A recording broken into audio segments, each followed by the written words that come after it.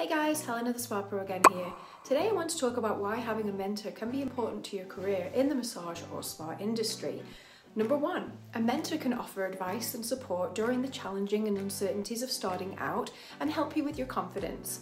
Number two, mentors can provide valuable insights and advice based on their own experiences, successes, and failures to help you.